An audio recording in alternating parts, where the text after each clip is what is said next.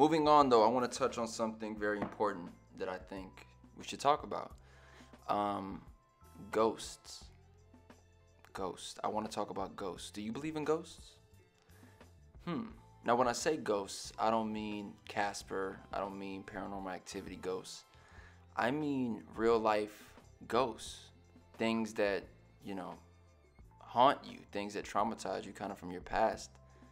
Um, you know, listen, we live in a world now where everybody is way more accessible than ever before.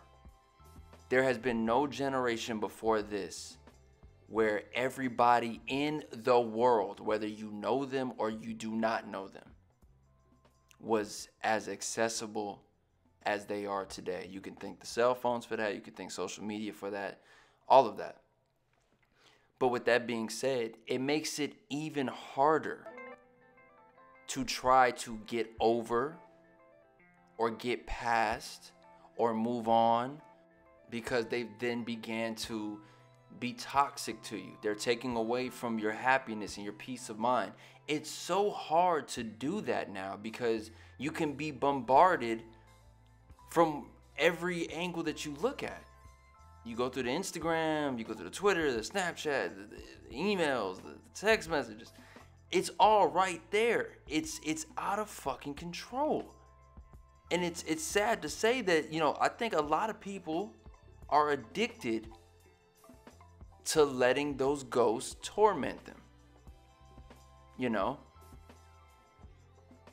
You know good and damn well how you feel and the place mentally that you get into when you allow yourself to see things that you don't want to see or you allow communication between yourself and someone you do not need to be communicating with because you are looking to change the overall dynamic of your mind and your life and you're trying to find that peaceful place.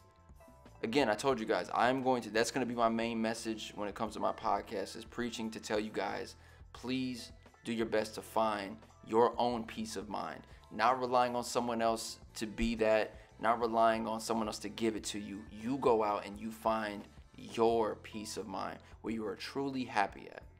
But back to my point about ghosts. We we allow ourselves to be haunted by these things, man, that we that we've either gone through, seen, talked about, talked with, hated a person for, let it them let them hate us for. Hey, man, we all go through life. We all have, you know have bad breakups, good breakups, best friends turn into enemies. Your old thing, you thought they would have never did that to you, but they did. They switch up. They're fake you know, there's fuck boys out there, there's fuck girls out there, all of that, all of that. That's just the world we are living in today. Everyone is way more accessible than they've ever been. Everyone has way more fucking options than they ever had before. That is the world we are living in. So you have to do your best now to be on defense 98% of the time to make sure that, hey, whatever the fuck is going on out here in the world, I cannot allow it to take away from my peace of mind and my happiness even the person that I may be putting all this time and effort into, because they could switch up on me too. Now I know that seems like a very negative uh, way of looking at it, or a very pessimistic way, but I'm just I'm sorry, I'm more of a realist than I am a, pep- a pessimistic person or an optimistic person. I'm just more of a realist. I implore you all to use that block feature on your phone. I implore all of you to do it whether it's blocking them from being a blocking a person from being able to call you or, or send you a text message blocking a person uh, on instagram so you don't have to see their photos and what they're doing in life twitter facebook all social medias that block button is literally like blocking them from your reality because you can say what you want and everyone kind of likes to play that facade of like oh well social media in real life like i'm not really all that concerned about it bullshit you look at it every single day so does everyone else but we like to downplay it because we don't want to look crazy. But the point is, it's an everyday thing. You look at it every single day. So you are allowing yourself to be haunted by all these things that you know good and damn well puts you in a place mentally that you don't need to be. I implore you all to hit that block button. Stop traumatizing yourself by letting these old things affect you because visually you are seeing it, visually you're looking for it. Stop it.